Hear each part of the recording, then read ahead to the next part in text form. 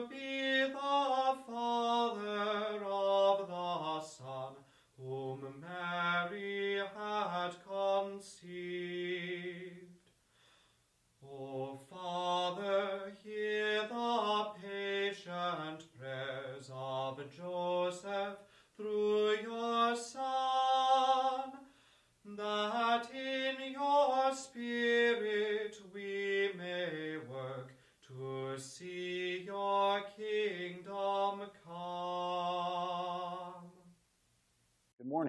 Welcome to Daylesford Abbey.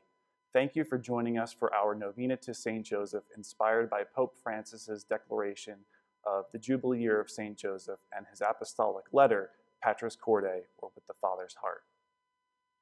Let us begin with prayer. Hail, guardian of the Redeemer, spouse of the Blessed Virgin Mary. To you God entrusted his only Son, and you, Mary, placed her trust. With you Christ became man. Blessed Joseph, to us too, show yourself a father and guide us in the path of life. Obtain for us grace, mercy, and courage, and defend us from every evil. Amen. Today we will reflect on the section of Patris Corde entitled A Creatively Courageous Father. And this section, according to the Pope, actually begins where the previous one, an accepting father, left off by saying that we must have done the inner work in some way, or true interior healing we must have achieved, says the Pope, in order to accept our personal history and the things in life we did not choose, so that when we face challenges in life, especially those that involve our family in some way, we are to engage and approach those challenges in a creatively courageous way. And that's inspired by the model of St. Joseph. Uh, for me personally, I've always had a personal association with the name Joseph and uh, Joseph, the worldly father of Jesus, because my father's middle name is Joseph. So that has just been a natural association for me. Uh, but in reading this section of the Pope's letter, I was really taken by the way that the Pope calls for uh, men and fathers and all of those seeking a, a fatherly mindset in general to uh, really embrace that inner work that we need to do personally to achieve some sort of healing within so that we can work for a kind of healing without, both within our families as well as within the world in a social context.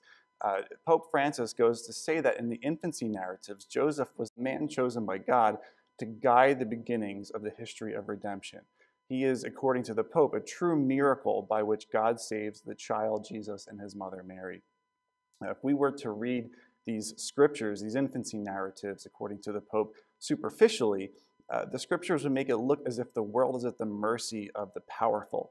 Yet, according to Pope Francis, God always finds a way to carry out his saving plan. And uh, apparently, this absence of God is really not so much, says the Pope, uh, the absence of God as defined by you know a society run by the powerful, um, but instead, says the Pope, this is actually indication that we, uh, humanity, is being trusted with God's plan to be creative through the father figure of Joseph, to find solutions ourselves in what he calls a creative faith. And Pope Francis also writes that Jesus and Mary are mysteriously entrusted to our own responsibility for care and safekeeping. This is both as fathers and as human people. He reminds us that the Son of God, the Son of the Almighty, came into this world in a state of great vulnerability. So there is certainly a call there in the model of St. Joseph to seek the uh, best solutions for ourselves and our families as well as for the world, engaging in a social context there that takes us beyond ourselves and our families. Uh, but if I could add personally as a father, sometimes it is a great challenge to engage with the status quo that maybe does not work in the best interest of your children, your wives, your families, those that you hold close to you. So this does take, certainly take a creative faith and a creative kind of courage that allows us to challenge and engage those elements of society, culture, education, medicine that maybe don't work for our family's best interests, but we are called nonetheless to engage with within the world as we work together cooperatively as one family growing towards God in Christ. So let us pray now prayers of intercession. For all fathers, that they may embrace the movement of the Spirit toward greater courage and creativity in their lives to do what is best for their families and for the world. We pray to the Lord. Lord, hear our prayer. That all, especially fathers, may deepen their relationship with Christ through engaging in and sharing life giving activities and practices with their friends, family, and loved ones. We pray to the Lord. Lord, hear our prayer. And for the integration of the mature masculine in our world and union with the feminine through creative courage to seek solutions and unity among difference. We pray to the Lord. Lord, hear our prayer.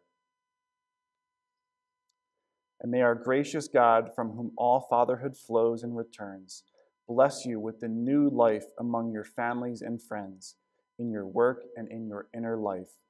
May Jesus, obedient Son in Nazareth, bless you with an open heart attentive to God's will and with the courage to respond to God's call. May the Holy Spirit, who spoke to Joseph in dreams, fire your minds and hearts and strengthen your hands to work together with all God's children in building a new world of peace.